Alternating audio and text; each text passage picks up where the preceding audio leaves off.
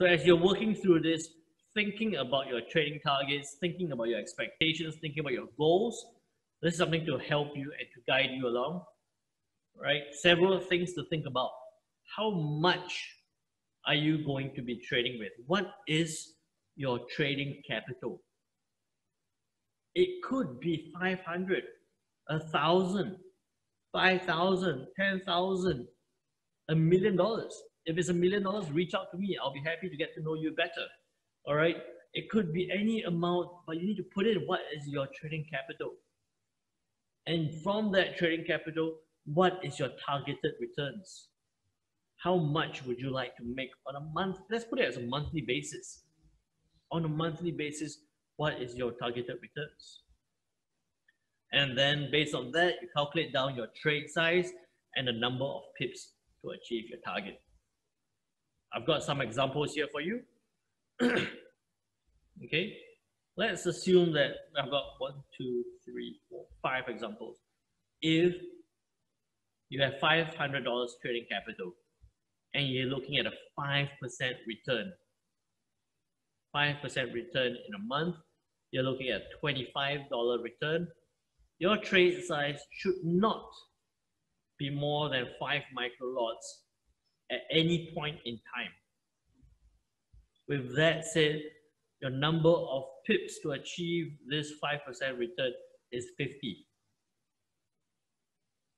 I'm going to skip a thousand. If you have $2,000 and you're looking for 5% returns, looking at $100 um, for the month, your maximum trade size at any point in time should not be more than two mini lots. Again, the number of pips you would need to achieve that target will be 50. Even if you have $10,000 in your trading capital and your target is 5% as a starting point, your targeted returns will be $500 your maximum trade size at any point in time will be one standard lot. Your maximum number, your number of pips to achieve this target will be 50.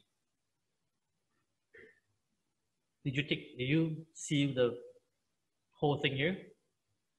No matter what, whatever your trading capital is, if you're looking at a 5% return in a month, every month, Firstly, in a year, you'll be 60% returns. And out of that, all you need to do is achieve 50 pips in a month.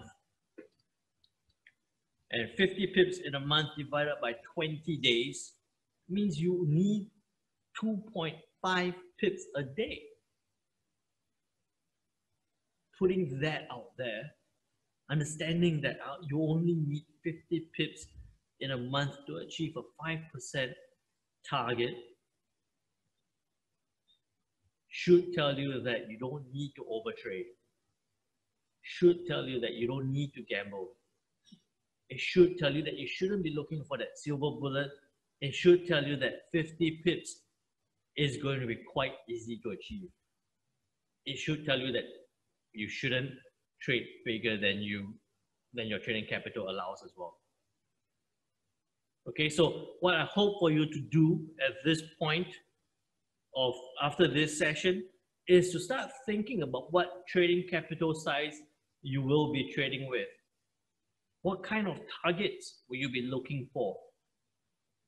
How much would that mean? What trade size would that translate to?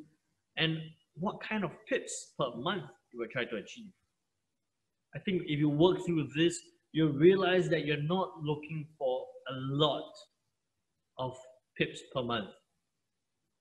And by understanding that, will give you the better understanding that you don't have to overtrade, you don't have to take on more risk than you should, and you can actually stick to a strategy, take time to learn, to practice, to review, to ask questions, to have a coach to guide you through the whole process.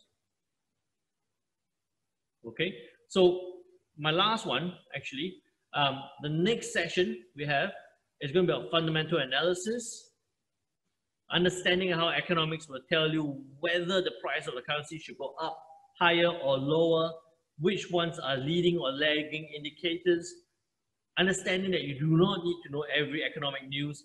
There are only seven ones to take note of. Understanding that economic data can tell you a lot more than the number that's actually released and a lot more information on fundamentals.